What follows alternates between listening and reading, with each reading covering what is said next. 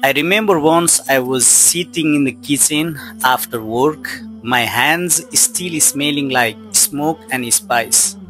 I look at my reflections in the metal counter and I ask myself, what am I really cooking for? Is it just for salary or to feed the creations of Allah subhanahu wa ta'ala? That night I realize even my job can be ibadah if my intentions is pure. When I cut onion, when I grill meat, when I serve people, if I do it sincerely, Allah counts it as worship. That's the beauty of this deen. It turns ordinary movement into eternal reward.